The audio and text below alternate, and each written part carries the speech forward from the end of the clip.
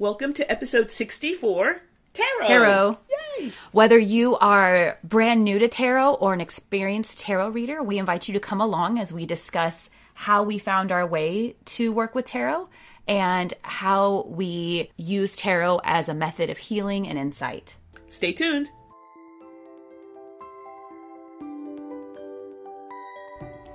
Welcome to the Witchy Wit podcast, where we look at life through a witchy lens. I'm Kimberlyn. I'm Leilani. At Witchy Wit, we explore current events, Ideas music, and books. and experiences in ways that recognize energy and life in everybody and everything. We are both real witches, And we bring two real perspectives through the lens of our different ages races, and backgrounds. with a healthy skepticism for what we have been told is true.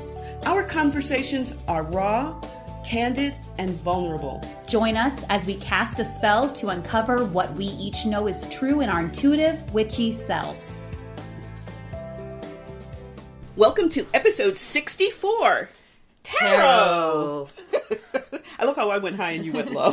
I, I was doing like tarot, like, ooh. Woo! Ah, and I was doing tarot like bright, shiny, the sun, the world, The moon. the moon, death, the tower. This is my tower year, by the way, but we can talk about that later. geez. anyway, Okay. uh, I said we could talk about that later because what I'd like to talk about now is where we are right now. Would you like to get us started? I would love to check in. Uh, I just recently read a book and I wanted to share the book and how I felt about it. It was it's called Bittersweet and it's by the author Susan Cain, Cain with a C.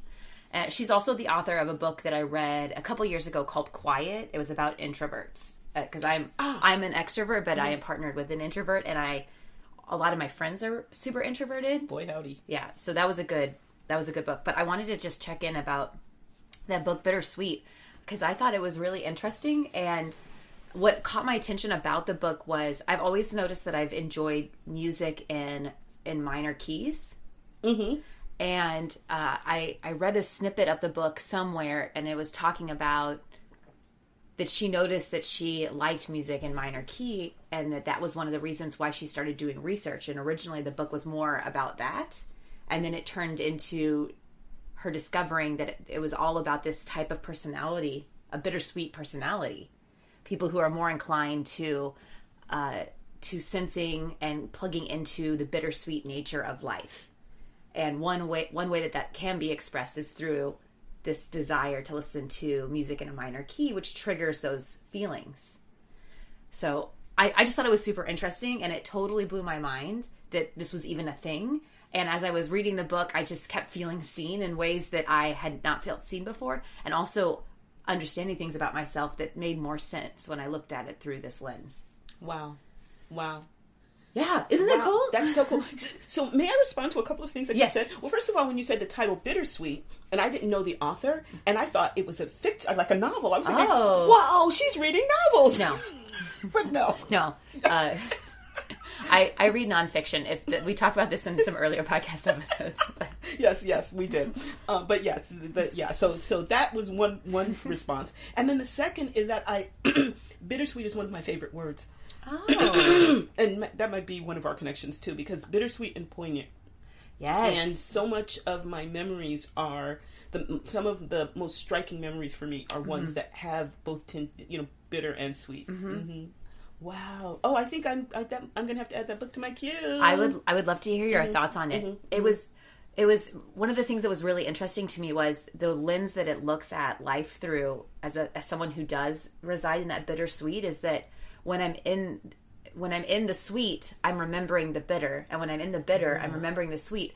But it, it's hard to explain because my experience is that a lot of people think that it what it is is it this is still new for me, so my words aren't super clear yet, but that like I, I I've experienced people from the outside thinking that um like I'm uh, I'm never satisfied because when I'm in the sweet I'm thinking of the bitter and when I'm in the bitter I'm thinking of the sweet. But really what it is is it's this sense of like it reminds me of the wheel of the year like the, the in the dark times i'm remembering that there is the light even though i am in the dark. And in the light i'm remembering that there is the dark even though i'm in the light. And i feel that way in life experiences because as I'm experiencing this joy, I'm th- I'm like thinking of the fact that it's transient, and so I should therefore experience it more fully, knowing that it will be gone. And then in the times when it's gone, remembering the beauty that it was, but knowing that that it's cyclical. So it yeah, so it, it's like not a not a, it's, in my experience, it's not necessarily a negative thing. It's just a more understanding the transience of life and the fullness. Wow. It's so amazing to hear that because I think that explains so much of what I think I see. Mm-hmm. Um, first of all, like your balance. Mm-hmm. Um, so when things go wrong, like when people forget to bring things to rituals. no, I mean, what has it ever happened? I mean, not even what two days ago. No. You know that, that I think that a part of that is because you, um, and you know, correct me if I'm wrong. This is mm-hmm. just what I'm sensing. Um, that because you're able to experience both sides of this, that when something quote unquote bad happens, you it's not necessarily even reframing. You you can see and feel the balance of you know there's you know so how can we come out of that? Mm-hmm. and i think that that's a part of it you know that you can stay stay on even keel so what i suspect um so easily Thank you know? you. um so wow wow that that helps. That explains a lot Thank you. I, would be curious if you choose to read it, mm-hmm, mm-hmm. what your sense of it is applied to your life. Yeah, because oh, yeah. you and I mm-hmm. have so many similarities. Yeah, so. we resonate on a number yeah. of different. We resonate on a number of different levels. do yes, particularly in the minor. Yeah. So wow. Okay. Yay. Thank you. Yay, Thank you for yeah. letting me share. Thank you did, for sharing. That. Did you want to share about something? yeah, I did. So one of the things I want to talk about is um, actually a part of uh, my relationship with you is your mm-hmm. sister. Um, one love. I, I love her. She's pretty great. She is pretty cool. um, one of the things I heard her telling someone years ago was that she made colloidal silver. Mm-hmm. It's like what? And get you know, and I knew of it, and I remember telling that other person, "Oh yeah, it's really wonderful." I basically used it for hot spots on my dog. It's, oh, it's good yeah. for like healing. Mm-hmm. Um, excuse me. It's good for healing cuts mm-hmm. and things like that. And so that's how I used it and um, I was running out, and I thought I could go to some place like Whole Foods or whatever and buy some more, or I have someone who makes it. And and I um I called her up and asked her, and she wouldn't take any money for it, but she said she she said I'll brew you up some. So oh, I started I picturing. so because what happens is when the it, it's made by uh, there's a, it's a lot more complicated than this, but the simple version of it is you put these um, silver rods in in distilled water and then you electrify them through a battery or whatever. And then when it's and I don't know how long you brew it, but you know it's kind of done because it's kind of um, like it look, almost looks like smoke starts coming up from the water. Mm-hmm. And so I'm picturing her with a witch hat on, and I mean she's not stirring because there's no you know there's not a cauldron, but her like rubbing her hands together and cackling. because she said I'm going to brew up some anyway. So I I didn't know when I'm talking with her, she was saying, she said, "Oh yeah." I asked how long does it last, and she said, "When it starts to lose its effectiveness, I just use it to clean the house." And it's like, what? I had no idea of all of these uses. I went on, um, I just did an internet search and I knew about how it's good for healing, but people take it orally. People, I mean, in fact, when I asked her, she said, "Are you? Do you want it oral for oral or topical?" And I said, uh, uh, "Topical." like what? I don't know. I don't know exactly, but I didn't realize how um, how much people had used colloidal silver. And um, and how it, how long people had used colloidal silver. Apparently, people used that before they knew about antibiotics. So, like the ancient Greeks and Romans Whoa. used colloidal silver. Isn't that amazing? It like in some ways it feels so like new, but then it's like actually it's really old. It's really oh, I, which which you know is one of my favorites, mm-hmm, right? Mm-hmm. Isn't that amazing? So anyway, yeah, so it is. Um, so I have a well, I had a quart of colloidal silver, um, and uh, and I'm already using it for everything. It's like what? Yeah. So yeah, I'm I, I, put some in my mouthwash. Um, oh, cool. Yeah, I mean it's just it's just amazing. That's yeah. so cool. Mm-hmm, mm-hmm. So anyway, that's just another. If you if you want another natural approach, I, I use it for skincare, um, for healing. Um, and, you know, but but you can search this. This is another another modality that that will be very helpful. That keeps you from having to buy a bunch of prescriptions. That's all I'm saying. Mm-hmm, mm-hmm. And and I one of the things I love about this is it reminds me that I don't have to do it all, and that in a cool way when I'm connected to wonderful witchy women, I get so much from learning from them. Mm-hmm. Exactly. Soap making, colloidal silver, herbs, astro- astrology, yeah. tarot. Yeah. Well, and and we learn, but we also get. That's also We true. also, we also get soaps and we get teas. Look, I'm not gonna lie. Get, the getting is a cool part too. The getting is a cool part, a really really cool part. So yeah. So yes, The teas. Thank you for reminding me about the tea. Mm-hmm. Mm-hmm. Yeah. So we get we get a, a lot of. We should have a barter system. Except Right? except why bother? Because they're just giving it to us. I think that's the thing. That's the cool thing is that everybody. I don't. Well, that sounds like I'm not. I referencing Mm-hmm. the things I love. I'm so happy to share that. Um, I'm just. I'm just like, please, like, let me share this Yeah, with let me you. give you some. And Yeah, I mhm. get that sense about other people in our circle as well. Exactly. Exactly. I love getting teas pushed on me. You know, like, hey, you want this oolong? sure. Except, yes, I do. Except no, you're not. I don't. Not anymore. because you don't want decaf. I no. I trust me on this. Yeah, the, yeah, yeah. Uh, you want this rooibos? There we yeah, go. I do. Yeah, I do. You just want some lavender. Lemon? Oh yeah, yeah. Give it to me. Give me that. Lovely. Our episode today is, um, you know, hopefully this will be uh, another one of our series where we'll talk more in depth about certain aspects of it. But today I thought we'd do a little bit of an overview of our experience of and our thinking about tarot. I love that. Spoiler alert: we both read tarot. We both read. So just so they know, yeah, yeah, that's true. that's where we end. yeah, yeah. Well, we, and and well, as we'll learn um, t- in this episode, we have totally different approaches because we're two different perspectives into whatever. Um, but uh, yeah, so and which I think is so much fun. I do too. Mm-hmm. I do too. Could we maybe start with what we were th- before we were t- both readers because uh, you and I both did not grow grow up as uh, in like a witchy culture. So can we talk about our thoughts about tarot before we read tarot? Sure. Um, shall I start? Sure. okay. Um, so I think I think my mm, I thought that I never thought that tarot was like a gimmick or whatever. Um, I, I from from the time I was a really young child, I knew that there were these forces of of knowledge, of wisdom that we didn't necessarily see in our day to day lives.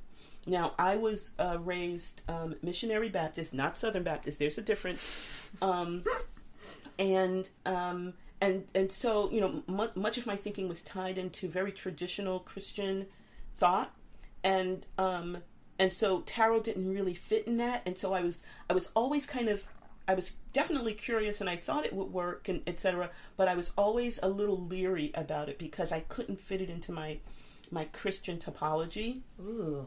Um, and so um, I, even as a child, like I remember seeing things and, and being struck by, you know, seeing different cards, like just on, you know, uh, in so in uh, popular media or whatever. I was going to say social media, but there was no social media. The social media was, you know, channel channel four when I was growing up. Right. You know, PBS is social media. exactly the five channels that we could get right so um and then we had public access when cable started so whoa yeah but anyway but um but just in, in the popular media and television newspaper whatever you'd see a card or whatever and i knew that it was powerful but i just i didn't want to think it through i did i never took any further steps until i became older and i I, I don't know if I've mentioned this in other episodes, but I went through periods of binge and purge. Have I talked about that? No. So I would go super, super woo woo and get to the point where I'd realize I'm like totally living, leaving Christianity. And I would, I- and I literally would purge. I mean, I'd throw stuff away or give it away or whatever and, and pull myself back into the Christian fold. Um, yeah, I, I went through, I, I went through that with kind of, I went through that with um, woo woo, with witchiness. I went through that with kind of kink stuff.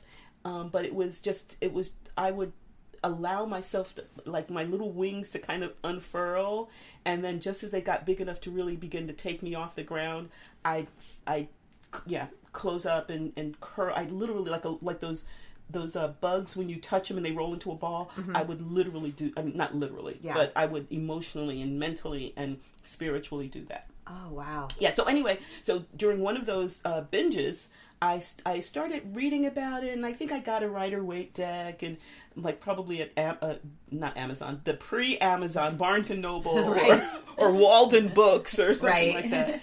Um, and got or went to one of those crystal stores Mm-hmm. and, and and got those, and um, I started reading for uh, you know I, I started reading up on it and getting books because you know, there was no internet. Um, I know it's so hard to imagine, isn't it? But yeah, um, and then um, I started reading for people. Um, I, I don't think I really ever read for myself, and and that's where the, we'll talk about this later. The total switch, but um, I would start reading for people, and later I would find you know that I was eerily correct, and people would tell me this, and that really scared me because um, where was this power coming from? No, no one talked about it in the Bible except for the witch of Endor, which um, it's it's it's, a, it's in the Old Testament. But anyway, Oh. yeah. But you know, thou shalt not. Uh, Thou shalt not suffer, a witch, to, live, to yeah. live. You know, so I um, like that you and I both know that line. exactly. Yeah. So that's the one thing that we remember from the Bible. But um but yeah, so it was just it was it was so fraught for me. It was so filled with so many other fears and doubts um about myself and about my religion or and and my religion relig- religious um experience that um it was never a real clear uh, relationship with the tarot itself. And and then I remember um, I for something I can't remember what it was, but it was a Halloween, and I read for about four or five hours for and dressed up like a gypsy. You know, it's like totally inappropriate, but whatever. Those were the days, and um, and led and and and learned um, how how spot on so many of my predictions were that um, I got rid of it and didn't pick it up again until the 90s. wow. So that would have been this. That would have been the 80s. That would have been the 80s, and I didn't pick it up until really seriously about 15 years ago. So the 2000s. Wow. Yeah, yeah. It was. It's it, it it's it's a wonderful relationship, but there's so much fear and doubt, and you know, it's like that bittersweet. There's so much dark uh, shadow for me that's tied. That's the word shadow. That's tied in there for me. So. It, it, not now, not now, but back then it was. So what? hopefully, you can pull us out of this, I, this I, spiral. I did not know that. Mm-hmm. And listening to you tell that story, as somebody who sees you now, Mm-hmm.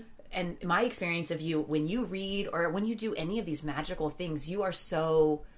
There's so much depth and Mm-hmm. shadow and light. It's just so there's so it's I awe inspiring for me. Mm-hmm. Hearing you say that you like the binge and the purge.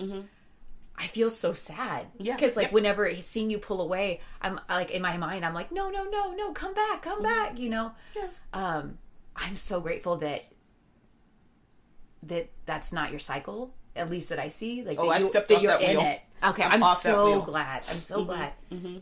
Because I love you so much. Thank you, like, thank oh my you. gosh. That's why when, when, remember when we talk about some of the young our younger Mm-hmm. members, and I say I am so glad that they never they didn't have to go through what I Mm-hmm. you know what I mean. So it's just so wonderful for me to see that. So Wow. tell- Okay. oh, okay, let's hear about your okay, experience. Which my hopefully- tarot journey is that I grew up seeing it in popular culture, and I thought it was, I thought it was like kind of campy. Mm-hmm, Um, it just seemed,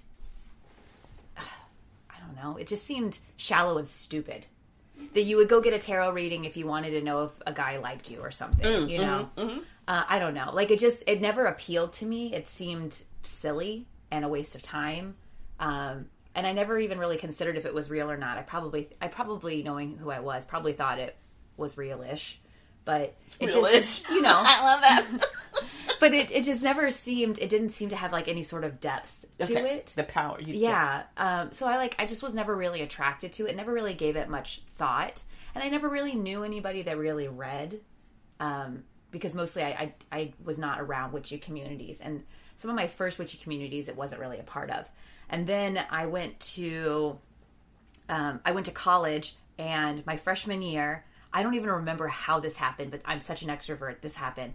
My janitor on my floor in my college dorm, I somehow figured out that he was a witch, and I told him I I felt like I was a witch, but that I didn't really mm-hmm. know. Mm-hmm. He like took me under his wing, Oh my gosh. and we would like meet at a coffee shop, mm-hmm. and he would bring me books, and then we would like talk about witchy things. No. I am so serious. I look back at this and part of me is like, "Oh my god, I'm so glad he didn't murder you."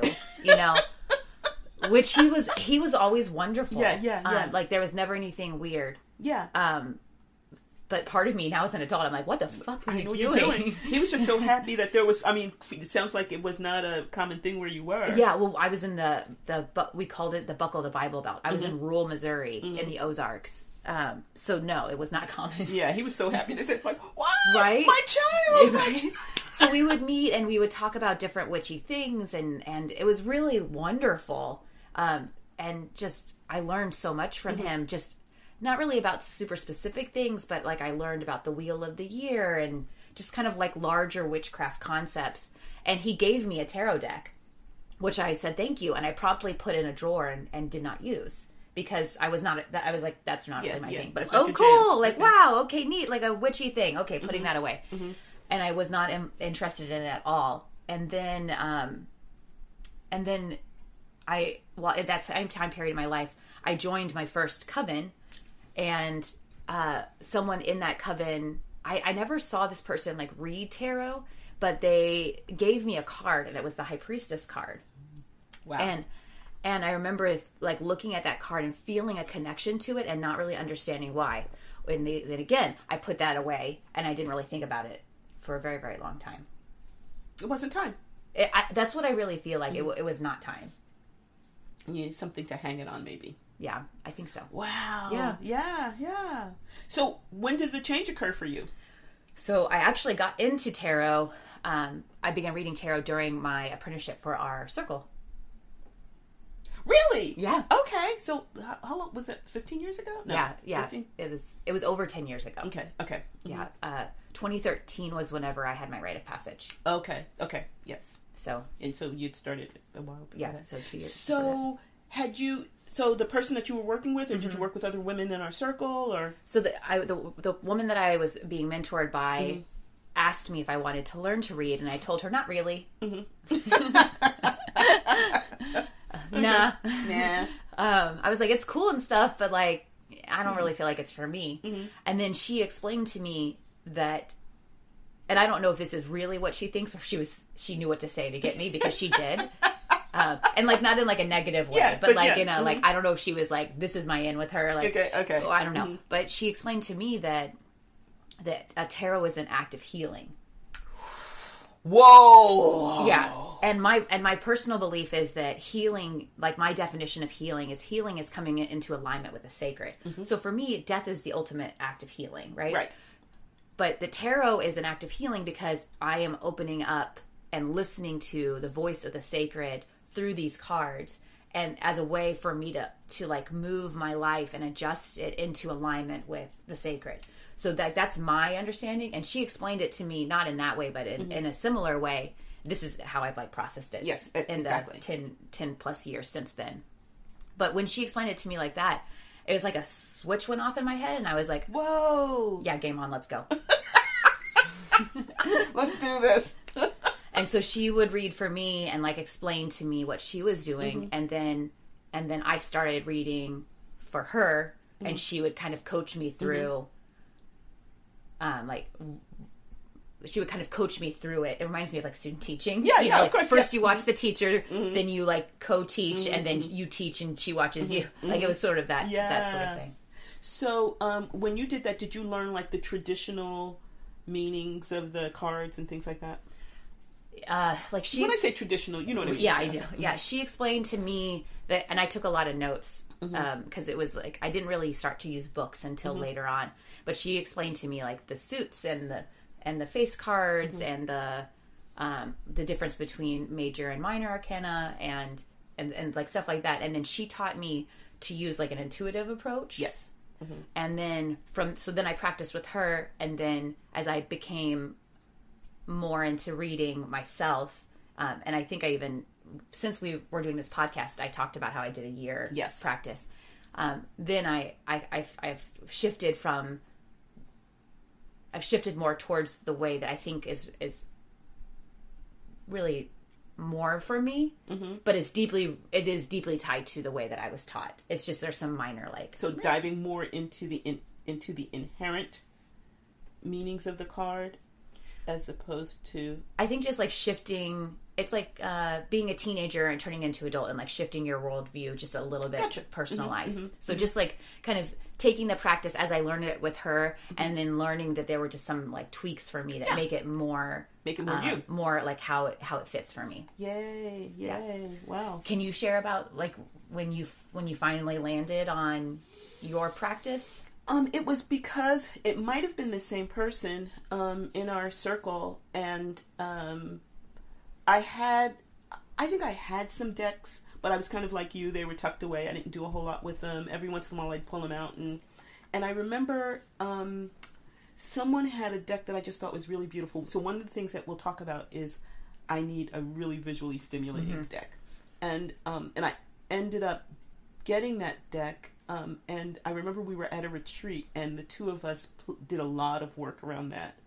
And um, in fact, um, I'll, I'll show you. She actually gave me a shadow box of one of those cards. I'll show it to you before you go cool. anyway um so so i think i got into it because um it was visually stimulating for me and and then i started through that deck exploring some of the traditional meanings but how that deck kind of uh, presented them.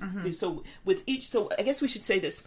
Um, the, the there's a traditional deck that a lot of people use. It's the rider waite and we'll talk more about that in a moment. Um, and and that kind of established for it for in the United States and parts of Western Europe. Um, a, certain way of approaching each of the cards. Um, and and even though they're t- if you go if you look it up, there's you know hundreds of thousands, maybe not hundreds of thousands, but thousands of different decks. A lot of them are based on that same uh, meaning for each card, and they just maybe tweak it a little bit, and then some totally go away from it, et etc. et. So we should just say that. and maybe one of our episodes will be on the the um, illustrator for Rider Waite because that's a huge story. Um, It's a, a woman and her relationship with uh, Crowley and all that kind of stuff. So we can maybe we can talk about that. But anyway, um, so I got one of those decks, and then and you know, and then I started collecting decks because they were cool, and the the cool people had numbers of decks, and I didn't. It's like, ah. and um and I there were a couple that I thought I should like the Motherpeace because it had a lot of uh, women of color and I should re- um, relate to and resonate to and I and they were round and they had different ways of, of looking at them.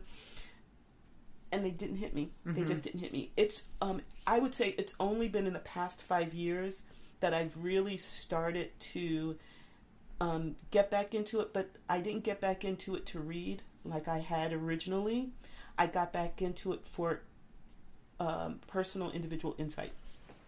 So kind of, um, I I I've I love that idea that you mentioned of it helping of it being a healing modality and helping to align. I've used it more for insight, and I think that I'm going to add that layer to it, and open myself up to that potential. Uh, when I um, when I start reading again, reading again, I, I've kind of put them aside for the past couple of weeks, but when I pick them up again, so yeah, I don't know. Did I answer the question? Yes. Okay. Like it was. Yeah. Yeah. Yes, yes you did. Oh, it did say that. Okay, great. Yeah, so um so let's talk a little bit about tarot. We've talked a little bit about how we started thinking about tarot.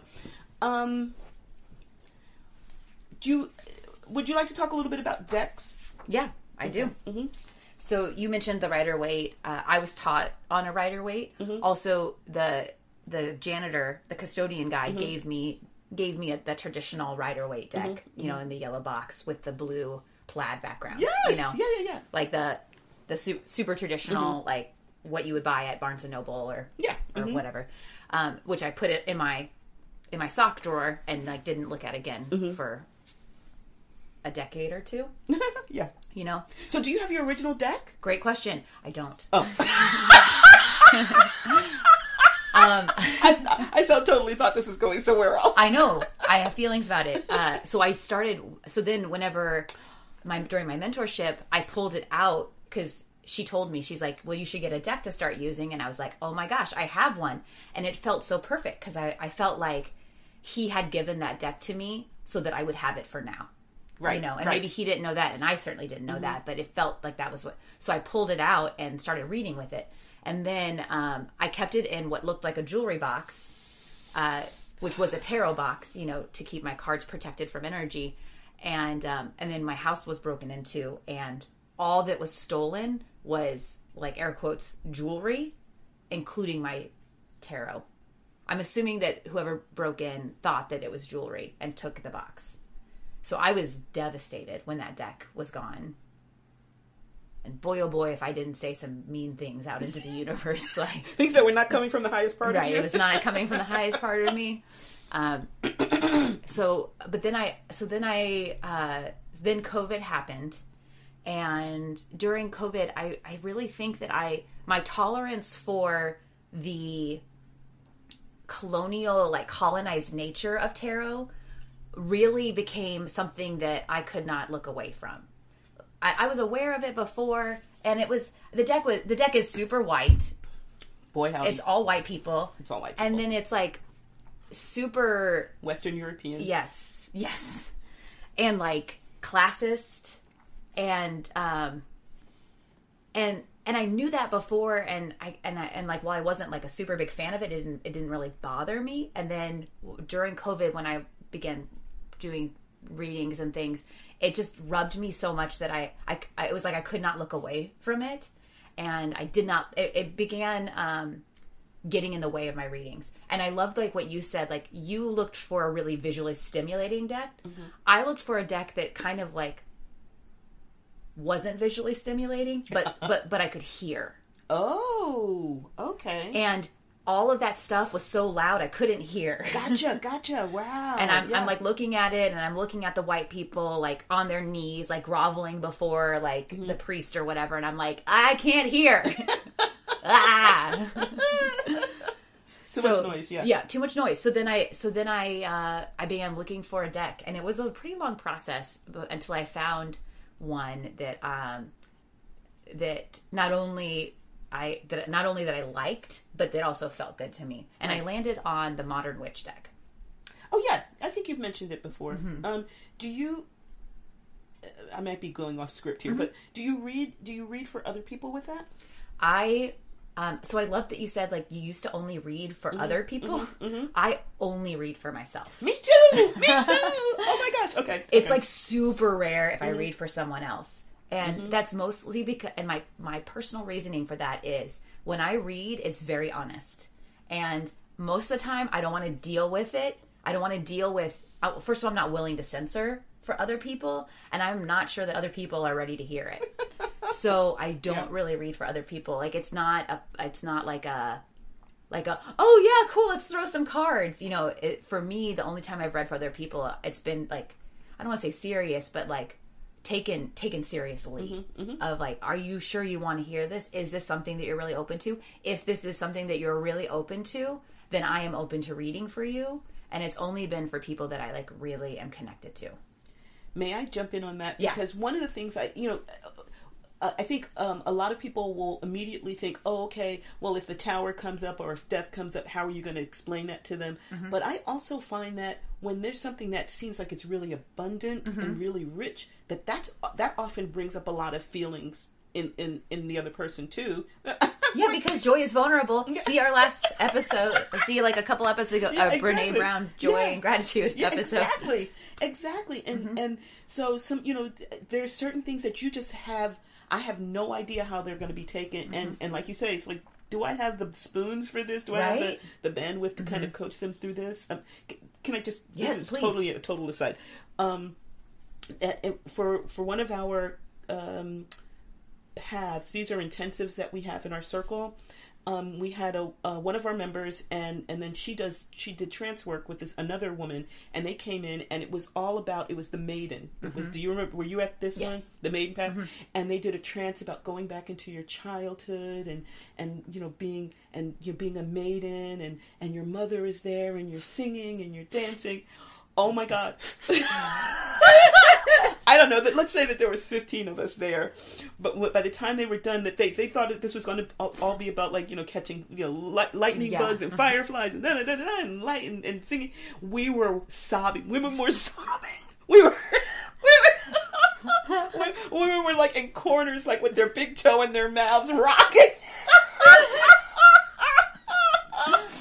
And and the two women running the trance, they were kind of staring at each other like, Shit, what this is not. This didn't go as we thought. so so every time I, I, I think about reading, I think about that where it doesn't matter what your intention is. You don't know wh- where this is going to go. And do I have do I have the the therapeutic um, mentality to mm-hmm. be able to help someone mm-hmm. once I've done the reading? Mm-hmm. And most of the time, I feel like fuck no, right? because because the power of it is so huge for me that I want to delve deeper and deeper into that power, Yes. and I don't want to try to have to translate it or or or you know or or, or make it or like you say censor or filter it for someone else. I feel that, Mm-hmm. and I feel so seen that with hearing the, hearing you say that because I've always felt a little selfish. Mm-hmm. Yeah. Well, I mean, so yeah, you can tarot. You can read for other people. You can read for yourself. You can do a combination of that, mm-hmm. and it's all it's all real and it's all mm-hmm. valid. Mm-hmm. And I love the aspect of like now when I'm reading for myself, I can add these other elements. I can think about how this is really not just telling me something, but helping me to do the something that it's telling me is a good thing for me. Does that make sense? Yeah, Yeah. yeah.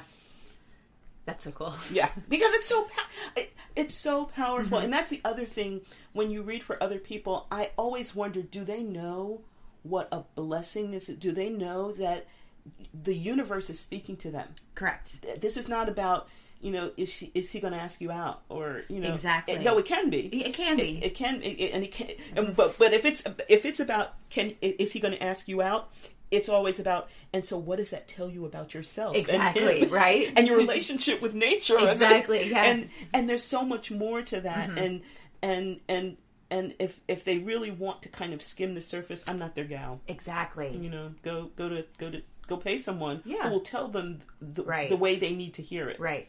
But yeah. Okay, this is me going again. Me Mm-hmm. going off script. Um, have you ever like gotten your cards read? Like one time, I got my cards read Mm-hmm. in. Um, oh, I'm blanking on the name of it. In in New Orleans, in that square. Oh, uh, Congo Square. Yeah. Mm-hmm. Yeah. Oh no no no the, The- French the, no, the French the, one. Yeah. French, yeah. mhm, mhm. Uh. Place de something. Yeah. Mm-hmm. Um, like during the daytime, it's like an art art people set up, Yes. and then at nighttime, the art people go, and then like readers set up. But like uh, sometimes I like to get my cards read at places like that, but I don't tell them that I read. Yes. Oh. Oh. Oh my gosh. so tell me about that experience. So just because I think that it's fun, Yeah, Cause, yeah. Because I I like pretend like I don't know, Mm-hmm. and then I and part of it is that I like getting other people's insights. Mm-hmm, You know, because uh, I am my own worst enemy, sort of thing. Mm-hmm, You know, like I am I am I am the worst at blinding myself. Mm-hmm, You know, so other someone else's insights is always is always like uh reveals things. Yeah. Um, but but I also like it because then I'm like, are they? Do Are they, they know? the- yeah. Do they know what they're talking about? Yeah. Uh, so it's just it's just fun. What have you found when that happens? Uh, I mean, sometimes they don't know what they're talking about. Mm-hmm. Sometimes they do. You know, sometimes sometimes I can tell that they're just making it up to make money, which Mm-hmm. you know, whatever. Um, It's a job. sure. Mm-hmm. Uh, and I'm sure that a lot of people enjoy, you know, the person like telling them what they want to hear. Yeah. Mm-hmm. Um, which whatever. But uh, sometimes sometimes they do know what they're talking about, and I've had really great experiences. But Ooh, I do just think it's really fun to do. Okay, yeah, I have, you know, I haven't because I've just, I think I've been a little snobby about it. It's Mm-hmm. like, can you, can you tell me more than I can tell myself? But now that you mention it, sometimes people can, right? Mm-hmm. Because, like you say, I can blind myself. Like the universe has probably been telling me this long before I picked up the tarot deck, Exactly. right? Right. Exactly. exactly. And I, if I haven't seen it, then you know, sometimes I won't see it even with the Mm-hmm. tarot deck, right? But somebody else can explain it in a way that's outside of my worldview, Mm-hmm. and that might, you know, make me go, "Whoa, hold up." yeah. Yeah. Maybe, you know, we'll see. Yeah. But I will try that. I, th- I think it's Yeah, fun. yeah. Uh, one thing that I did want to go back to and say about, so I switched to the modern witch Yes. deck, mhm. um, which I like a lot because I like that the so it's all like women or gen- gender fluid, which I really like. Ooh, nice. yeah. um, and and there's a lot more diversity in, in bodies and um and I and I like that. It's kind of fun that it's modernish, you know, Mm-hmm. like the cities the cities of like the the original Rider Waite are like medieval cities. Yes. But in the modern witch it's it looks like urban cities, you Gotcha. Mm-hmm. know, um, which I think is, is I think is fun. Um, something I I still am not super liking about it is I don't like the king queen, you know, like I don't like the gendered classist hierarchy. Um, and I know that there are some decks that are that that you know do that different but I, I do really i for the most part i really really like it and it is what i currently currently read with but staying in the Rider Waite lineage for me is really important because it's how i it's like how I, it's the it's the framework for how i read. And um and then having a deck that is really dedicated to the imagery like with consistent imagery. So for example like grapes equal wealth. Gotcha. you know gotcha. like th- as it ties into the same thing. That's why like i went into being an english teacher. Like symbolism and imagery is really important to me. Archetypes are really important to me so i need that's like that's like the that's like the ladder that i climb to get through Right. my readings so if, like there are some decks which are super beautiful but they're like there isn't that connection. It's just like Yes. different pretty images for each card. I'm like, mm-hmm. I need the I need the, consistent- consistent yeah. Mm-hmm. imagery mm-hmm. to to like tie myself to receiving these messages. Yeah, yeah, yeah. Particularly if you're if you're if you're not sitting there with the book, right? If you're Right. really trying to like look kind of what I I feel it's like a, a tunnel vision. Like I look at the card and then it's like and everything starts to like my it gets bigger and bigger in my vision and everything else kind of fades to the side or blurs out or whatever. And to be able to do that, having something consistent, at least according to the deck writers um, worldview, then allows you to apply that in a certain way, apply that in your individual way. Uh, what deck do you want to share about what deck you read from? Sure, I'm currently so I'm dedicated this year. We've talked about this. So um, you used this last year. I don't know if you're using it, the ritual planner. I It's used a- it during the year that I mm-hmm. dedicated Okay, to so- tarot. I mm-hmm. used the ritual WR mm-hmm. ritual. Du- Planner. yeah, W R I T U A L. So And my, ritual. and my so sister writing. uses it too. Okay, so I'm yeah, and I'm using that, and I'm dedicated to. I'm using the Sirian Starseed Tarot. It's glorious. It's gorgeous. Um, bright, vivid, saturated colors. Um, uh, non traditional. So, for example, instead of the King Queen page, it's this the um, Seeker, the Seeker, the Adept, the Master, and the Sage. Sage and the Master. You know, so I love that. hmm and and they're they're non-gendered. The the, the, the those cards are non-gendered. Um, uh, diversity in terms, not as much diversity as I'd like, but diversity in terms of the um, the skin colors and the faces and etc. Um, and it's more it's it's it's about personal growth. So um, with a lot of them, there's a, a little bit of a description, and it and it bounces off of the traditional, but it's much more. In what ways are you doing this? How can you, do, do- you know? So so it's much more about process processing and less about telling you and more about you telling yourself and drawing it out of yourself and and interacting so i i love that deck i love that deck it's it's the the one i'm using this year so That's so cool. hmm It's and it's gorgeous. It's glorious. So yeah. So um, but I over the years, so I mentioned um the Motherpeace deck that I've used. sorry, sorry. the Thoth deck, which was a an esoteric deck painted by uh, Lady Frieda Harris, following instructions by Aleister Crowley. So it's a super powerful deck. It's based on, uh, it uses symbolism based on Crowley's thinking and, and Crowley's imagery from a number of different areas, different disciplines like science, philosophy, and various occult systems. Um, I've also d- d- uh, one another one that I I like. It's called the uh, Crows Magic, uh, ICK Magic deck, and it's it's birds, not just crows, but it's birds, different types of birds on a black background with a lot of sacred geometry. So it's very it's it it it, it it's uh, less about telling a story or a narrative or actually creating a picture and it's more it re- that is uh, really intense in as much as you build the the meaning of Mm-hmm. that so that might drive you crazy It, As you were saying, I was like, that sounds so cool and not for me. It- but isn't it wonderful that there's all these decks out Yes. there that for people? And so I um, I used that one for a while, and I still have it and love it, and I'll probably cycle back to that. One that I loved when I first got, and I I don't want to say I hate it now, but um, it just doesn't. It's there's nothing in there for me. Is the Arthurian?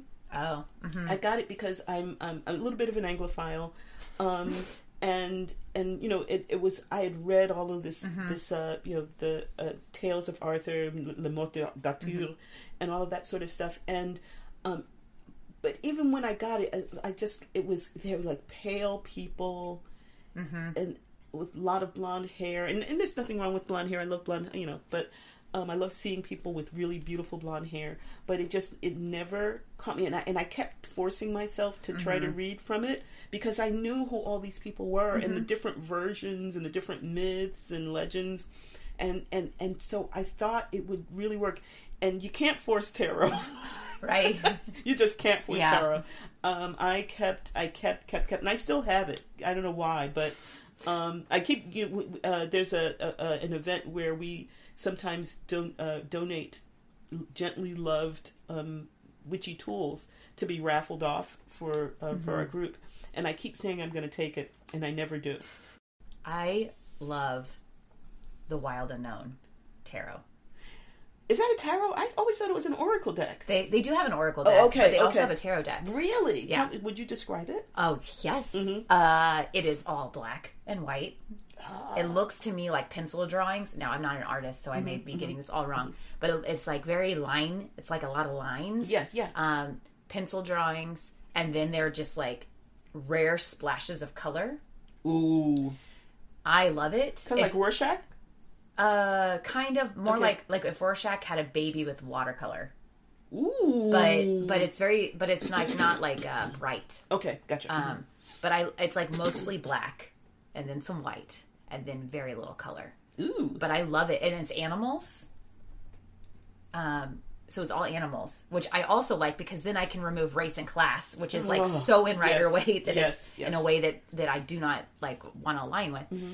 But um I love it. It is the only uh, so I own my Rider Waite deck, which I not the one I originally learned on, because that one got stolen, but Mm-hmm. then I purchased another Rider Waite. Then I moved. Then I couldn't do that anymore, so I moved to Modern Witch, and then I have the Wild Unknown, which I do not read from, but maybe someday I will. It's it's too far away from the like the the the lineage that I am used to. But maybe someday I will. But it is I'm so attracted to that and the colors or the lack of color. but I I love it. So one of the things I and I'm just throwing this out. One of the things that I do, I have a couple of decks that I like, but I don't feel are really I read from well. Mm-hmm. I I often sometimes I sometimes use those as clarifying cards. So if you mm. you get a a, a spread mm-hmm. and it's like, what the hell, mm-hmm. you know, and um. I will pull one clarifying card, and then all of a sudden it's like you can feel the click, and it all falls into place. That I mean, you could try and see. That might be um, a, the, a good clarifying card. My sister reads from multiple decks at one time, Yes, yes. and to me that sounds ludicrous. Yeah, I know other people. I, I, I- like, yeah, what? Yes. Mm-hmm. Mm-hmm. I, I, I only use that for. I generally do that for a clarifying Mm-hmm. card. I did try because another friend of mine does multiple decks, and I tried that a couple of times, and I just couldn't switch my brain. Yeah. I couldn't switch my brain, but it works for me as a clarifying card because my brain has. I'm saturated in this one deck. I'm not. I don't have any idea what's going on. So just pulling something that's totally outside of that field Mm-hmm. often just it doesn't help. The, the clarifying card doesn't really help, but I mean, it, it does. Except, let me take that back. I don't necessarily get a relationship between the clarifying card and my spread, Oh, okay. but I'll look at the clarifying card and I'll say like, "What the fuck?" Put it to the side, and then look at my spread, and all of a sudden, my spread will make more sense. Okay. So, I, I just find my, my practice with tarot is so rigid in mm-hmm. some ways. Mm-hmm. You know, because it's like my sister reads from multiple decks. Mm-hmm. I'm like, what the hell are you doing?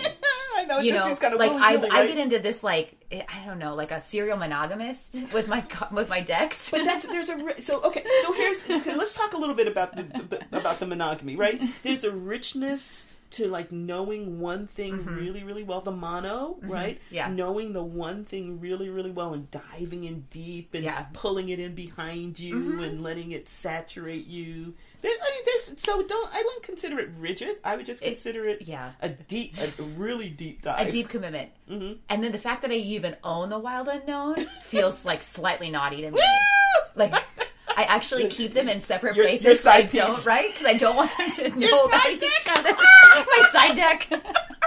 but I don't even read with the side Yeah, deck. It's like even the fact that I have it in my house. I'm Uh-huh. like, it's like having the phone number Right? but not, not actually It's like someday them. I might be ready to call you, and you're, but not now. and your other deck knows your deck knows it's Right. there your other deck is like oh honey honey Right. but yeah it's t- talking to the other deck come on bring it Yeah, bring and then it. Rider Waite is just sitting there like she doesn't even talk to me anymore. like that's the that's the ex-wife you know like, Right. children when you're done come over here and let me learn you something Wait, no one can see this, but I'm doing like a cigarette, like the old, right? you know, the, like smoking. when y'all are done, come on over here. yes, our relationship with our decks. Yes. and then we can later we'll talk about some oracle decks. Oh yeah, um, yeah. Like yeah, so I, you know, I have. In fact, I think that's what I have on is the crow's magic is on my Oh, my um intuition altar over there. Oh, I yeah, love so, that. Yeah, yeah. So so cool. so yeah. So shall we dive really quickly into some of the basics of of cards? Yeah, because Yeah. I think the the truth of it is, is people write books about this. Mm-hmm, you know, there's like a lot of information out there, but we thought it might be good just to give a basic overview Mm-hmm. of for for anybody who maybe isn't that isn't that acquainted with tarot. Yeah, yeah. So so there's 72 cards altogether. Does that sound right? I'm, I don't know. 72, 70, they're in the 70s. Anyway, don't worry about it. Um, there's a lot of cards. Um, because there are four suits, and then there's a separate um, uh, reading set that we'll talk about. And so um, the Seventy eight cards. 78, okay. You were really close. I was really close. It was like in the 70s. Yeah. so, um, and, and, um, so if you have ever played cards, you played spade or go fish or something, Mm-hmm. you might be familiar with the idea of suits and in a playing deck there are spades, hearts, diamonds, and spades Clubs? and clubs. Yes. Okay. And so the the um the the, the suits are called the minor arcana, and we'll talk about what that means in a second.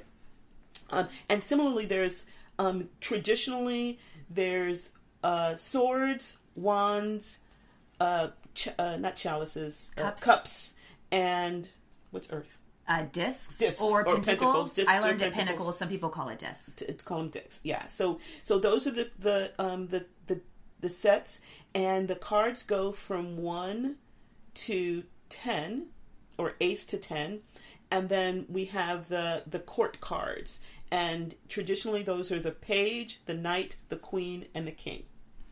And each one has its association. Would you care to talk about the associations? of the of the suits Of the suits. yes so uh, for me the one i gravitate to is water. Water is with uh, cups so that's like emotion intuition.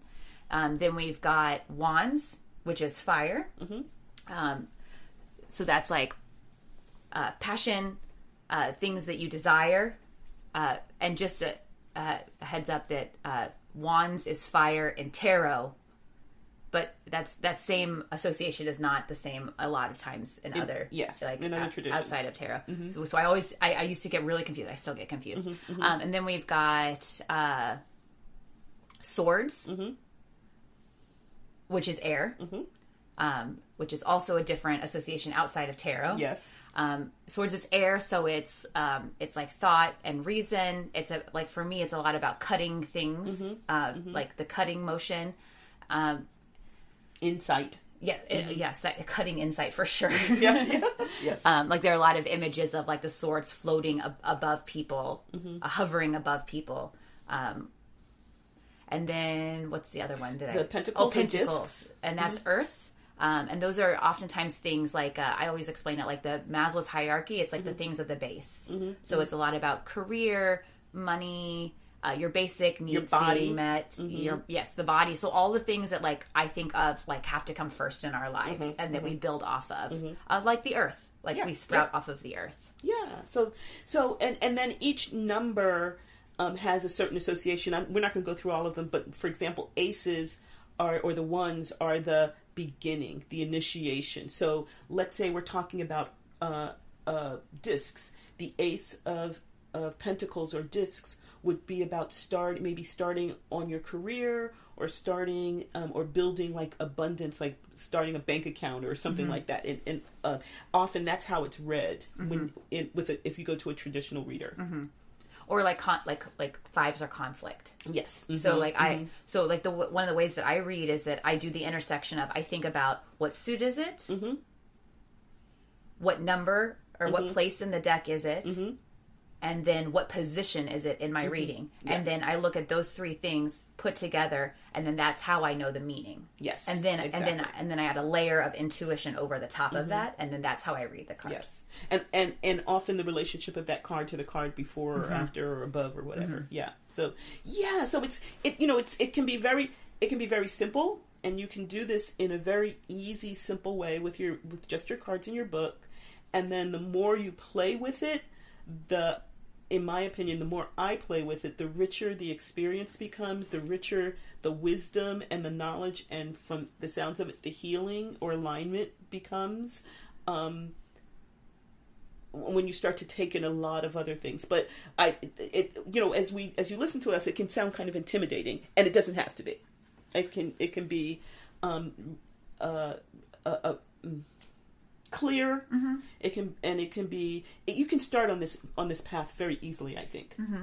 Well, and one way of doing that is actually to start by only reading major arcana. Yes. Or only meaning minor, reading minor Mm-hmm. arcana. Let's talk about that now. So we, I said we were going to come back to that. So The major the arcana? major major arcana, That's 22 cards. 22 of the of the 78 and um and those are those are large archetypal um when you when you get a reading with a lot of major arcana it's deep and it's profound. Um and and uh there you you want to talk about maybe maybe one of your favorite uh, major arcana So, so the major arcana oftentimes is is based on the fool's journey. is mm-hmm, So, like I and I'm a huge I'm huge into like Jungian Mm-hmm. archetypes. So each card represents that uh, step on the fool's journey. Mm-hmm. Other like uh, you know like other things that have been involved with fool's journeys, even something like Star Wars, you Mm-hmm. Yes. know, or Lord of the Rings. So like these these sorts of like journeys are um, like the hero's journey Mm-hmm. are, are like all around us in our culture, and it's present here in the oftentimes in the major arcana deck. Uh, my per- my personal favorite Mm-hmm. major arcana is the high priestess card. Did, was it before someone gave you that one or just you Well, they that- knew that it would be good for you I personally think that they I don't even know if they knew what they were doing Mm-hmm. giving me that card, but again, I put that card away and then years later after I had developed a relationship with that card, I um I I made that connection. gotcha, gotcha. So I'm not I'm not really sure, but the idea of like this connection with um, seen and unseen, Mm. you know, um, and like existing in the world between the seen and the unseen, and navigating that, and then as like serving as that person that goes between, um, just really resonates with me. That's a it's so just for your for your um, the, the the benefit of our listeners. Uh, the first card is the Fool, Mm-hmm.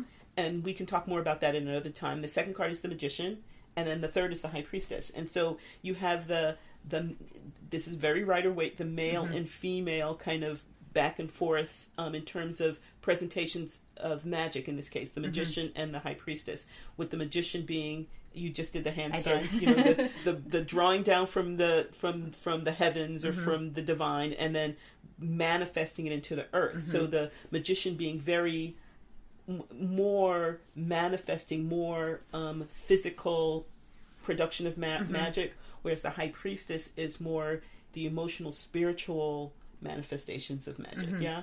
So Mm-hmm. Yeah. and and we'll talk more about this over over the next year or so, so you can hear more insight. But I love that the the um, that idea that there's that that feminine principle that we've talked about when we've talked about um, Friday the Thirteenth, when we've talked about um, emotions and water, and that uh, that receptive knowing, innate knowing that she represents, and sometimes they show her uh, veil, so it's it's it's a knowledge that's there, but if you it might require um, sitting and becoming super still to make it a part of you. Yeah. I love it so much. Yeah, yeah, yeah. Um, so I, you know, I I don't know if I have a favorite. I can tell you what my my um my life card is. Oh, okay. My life. Oh, what is it in the? I don't even know what it is in the traditional. Okay, one, two, three, four. What's five? The Hierophant. Uh, yeah, the Hierophant. Okay. I'm that's that's my life card. Really? Which says so. Yeah, you know, structure. Um, a lot of traditionalism, um, but also knowledge, and that's um that's my. I I I, I struggle with that card. I, I've been, probably and, I, I've, means- had- and I've sixty something years to struggle with. it. Well, not really because I Mm-hmm. haven't, but but yeah. When I first got when I first realized that that was my life card, it was oh okay. I can kind of see that because I'm a teacher. Mm-hmm. I'm I, I was an organist for many years, so I'm embedded in structures. And now I'm kind of I'm kind of like not liking it. I'm I'm kind of resisting. It's like, uh, well, okay. I mean, it's it, it's very insightful. It tells me a lot about myself that probably I don't want to know. But there it is. Boy, if that isn't the definition of tarot. Oh my gosh! Oh my gosh! Yes. And my death card. I mean, my death card. My um year card is the tower. Huh. So as you can tell, How are you is- experiencing that? I, this is a tower year for me. Yeah, yeah. So I'm I'm trying to I'm trying to not be thrown from the tower. I'm trying to you know listen to the the lessons that are being there. So it's not as um, you know th- there's not the lightning and the, the or the sky fire. A friend of ours called it um, as much. Um, and I'm trying to kind of go with it and experience it all as just you know what? You said you were going to do this stuff. Here's an opportunity. When you when your life is going down the toilet this is a wonderful chance for you to learn how to swim. Mm-hmm. yeah. And I love the way that you say that because I think sometimes people can be afraid of tarot because mm-hmm. when they read it, it's the sense that this is the way that it will be. Mm-hmm. But for mm-hmm. me, whenever I, I, I almost like if if I were to have the tower as a year card, it'd be like, how can I find? How can I figure out how to climb my way and exit this tower before it crumbles, sort Yeah, of thing? Mm-hmm. You know, mm-hmm. like I'm not doomed. It's a mm-hmm. call to action or an awareness. yeah. How can i ride this wave? Yeah. Wow. yeah. My year card is the hanged one. ooh. Which is another one about surrender right? I think i think both of those cards are Yeah. about surrender. Yeah, the hanged one for me is is really surrender oriented, and so in my in my journal, um, I, I printed out a bunch of copies of the hanged one card, and I like they're I made them really small, mm-hmm, like about the size of my thumb, and I've I've cut them out, and so for at the beginning of each month, I pasted into my onto my calendar for my bullet journal to like help me remember wow that's good that's great uh, that, and that came from doing the ritual journal Mm-hmm, which like they they have like a place for that and you can actually buy little stickers Yes. but like i wasn't about to i know you showed me yours and i said i'm doing that too yeah, so, I, have my- like made all yes. the little things and I glue them in. So Me too. Me too. Yes. Yes. I, I love that idea. Thank you so much for giving that to me. You are very, I, very I really appreciate that. Yeah. Um. And and you know it's the the beauty of it. It can be this wonderful reminder of things that we already know. It can be a great deal of, of it can be like this shock in the dark insight. Like, damn, I wish I'd known that before, but now I do. Um. And it can be something that can invoke a lot of fear, and like anything else, it's gonna, it, you know, it can happen. It, it, certain aspects of it are going to happen, but the big difference is how are how are we letting it happen to us? How are we approaching it? And so, just having the insight, knowing that okay, this is my tower year. What are some of the decisions that I need to make so that you know I'm n- not left in shambles at the end on December thirty first? So, no, it's is it from birthday to birthday or calendar to calendar? I think it's. I guess it's I've done it birthday to birthday. yeah, yeah, but it it actually is that year though because you use the Mm-hmm. year and so yeah. Okay, well I need to think about that. Anyway, I want to make it as short as possible. right. Which one is as short as possible? Let's do that one. that sounds good to me because my birthday's September. So see, your birthday's in February, February, so, so- it's uh, oh yeah. okay. I see what. Yeah. Okay. Uh, so maybe as we finish up, what if, Oh, yeah. what could we do? Maybe we could talk about if if someone came to us Mm-hmm. and said, "I I'm brand new to this. How how would how can I get into this Mm-hmm. that's not overwhelming? Sure. Like, what would be the advice you would give? I would. So this is okay. So you recognizing that we're coming from, we're not traditional tarot teachers. Okay. So I would say go to a store where you can actually see the decks and and look at them and find make sure they're tarot decks and not oracle decks. We'll talk about that another time. And then I would say find one that speaks to you. Um, you often hear stories of someone going into a store and the tarot deck like falls off a shelf, shelf and hits them in the head. That has never happened to me, but you know if that happens to you, there you go. And then just sitting with that deck, you know, using the book and reading what's there, looking at each card. You can do a number of different things. Some people just take each like do the the major and minor arcana, do the major arcana first, and then the minor arcana one per day and then just read that card and do that. Um, I prefer something a little more. Um, I like to just pull a card and then just dive into that card. Um, so, but but the idea, I would just suggest just learning your learning your deck, learning your deck, and then that's really like the foundation. That's where everything starts. After you've learned the deck, that's when the magic, the juice happens. But um, just finding a deck that you like and just and starting to learn it. What about you? Are you ready for two different perspectives? yeah, yes, yes. Let's hear it. Let's hear it. I would say do major research. Okay. because there are like uh, anybody can make a deck and Oh, call yeah. it a tarot deck. Yes, they can. So um, I have zero clues about this, but like Mm-hmm. I was the last time I was in like a New Age store, there was a Stranger Things deck. Mm-hmm. I don't even know. I didn't even look at it, but I was like, oh shit, there's Stranger Things. Yeah, deck. know. Like, wow, like, wow, You yeah. know, there, I, I've seen cat decks, and and like anybody can make a deck, Mm-hmm. and it and and it doesn't have the symbolism, um, and it doesn't have like Mm-hmm. the relationship between the cards. Is just somebody making pretty pictures on Yeah, different yeah. Mm-hmm. things and maybe that works for some people it does not work for me so i would i would recommend So there you go. Here's another. Here's another. Here's another approach. uh like doing some research on like is this deck considered um like a quality deck Oh, gotcha. Okay. and then maybe finding some decks that you think um that that have been because there are people that rate decks and not just Mm-hmm. Yes. Mm-hmm. like oh this deck is pretty 10 out of 10 you know or like this deck doesn't have reflective colors on it Mm-hmm. 0 out of 10 don't like you know like there are people who study tarot who will rate these decks there, eh, there's some really good stuff on the internet. yeah so finding mm-hmm. that and then maybe narrowing it down to the types of decks that you like mm-hmm. that also are predisposed to giving you quality readings mm-hmm. because of their symbol like the symbolism and things that run through them Gotcha. and then go oh. to, okay. There's more. go to the store Ah, and maybe okay. hold the or, or order order them on Amazon and then hold them and see out of those three or five or whatever that you picked which one really calls. That's another you. way. no, I like. No, I like your way too. I like Yeah, your way too. So yeah, So mine is like way more analytical, I think.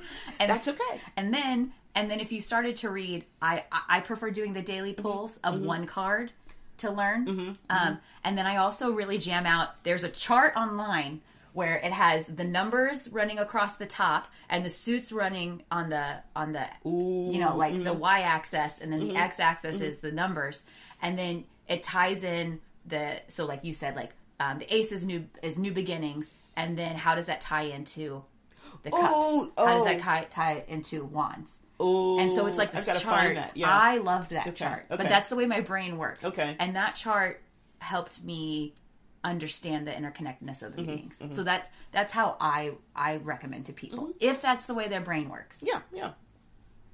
That works for me. I get it. I get it. And I think, and, and I guess, bottom line, Mm-hmm. I, I'm hoping our listeners understand is there is no one way there is no one way. Yeah, to. What do you always say? There's how many flavors?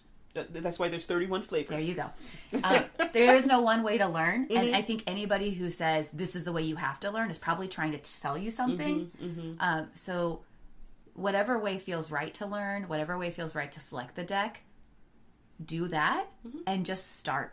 Right. Yeah. So, so, so some of you may have listened to this episode and said, "Oh, well, that's interesting. Eh, it's not my jam," and that's totally valid. And some of you may have, uh, maybe like totally way past us and think, "Oh, they're so cute," Right. and that's totally valid too. And then for those of you who might be, okay, well, I have a, you know, I, I have a deck. Let me see what I can do with my deck. This, I, I would, my suggestion is, go, uh, allow yourself to feel the magic. My, you know, that, you know, hold that deck and recognize that it can be a whole lot of things. It could be, it could predict your future. It could help you to heal. It could help, it could draw you into better alignment with the universe and with the divine. It can give you insight into yourself. It's a really rich, um, witchy, rich witchy tool um, that can provide a great deal if you're open to that. And um, my suggestion is if you, you know, consider being open to it. And I hope our conversation today has helped you find a way to listen to your own intuition and knowing how to be, how that openness would work for you. So our poem is by Tomas Tranströmer, who is a Swedish poet. Um, uh, he won the Nobel Prize. Don't exactly remember when, but he died just about mm, five, six years ago, um, and wrote a great deal about nature and stuff. Nature. nature. He wrote a lot about nature. Tired of all who come with words, words but no language. I went to the snow covered island. The wild does not have words. The unwritten pages spread themselves out in all directions. I come across the marks of roe deer's hooves in the snow. Language, but no words. Beautiful. We hope you have enjoyed the magic that has unfolded here at Witchy Wit. It would be great if you would help make Witchy Wit possible and get access to exclusive content by donating on Patreon. We'd love it if you join our witchy community and enjoy shareable content on Instagram, Facebook, and YouTube. Would you do us a big favor and support us by rating and reviewing us wherever you get your podcasts? It's free and helps witchy folks find us. Feel free to email us at witchywitpodcast at gmail.com. We love to hear from our community. Reach out and let us know what's brewing in your cauldron. New episodes are released every second and fourth Friday. Follow us on your favorite podcasting pr- platform so our episodes go right to your playlist. You can listen as you ride your broom. Stay, witchy, y'all!